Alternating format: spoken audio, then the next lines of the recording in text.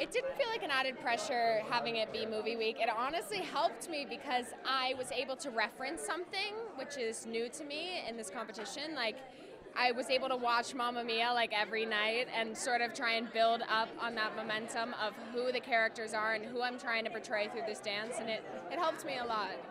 And look, week three, and we've had people bow out of this show left, right, and center. Your mother, injuries, injuries, injuries. What are you doing to make sure she doesn't get injured and that you guys can go the distance? Nothing. It's impossible to prevent injuries. We, especially when you're working your hardest, you know, that's what my mom was doing, that's what Ray was doing, and stuff happens. So you just gotta. It's a risk we're willing to take. Yeah. You know, we obviously I have a lot of experience now, and in 15 seasons, I know what I can do wrong as a teacher uh, to create injury. So I'm doing my best, and obviously, you know, knock on wood, she's been doing her part as well. When think- I have the tiniest trip, he like catches me like like I'm falling off a cliff. Like I think he's definitely hyper aware now from my mom, which is nice for me.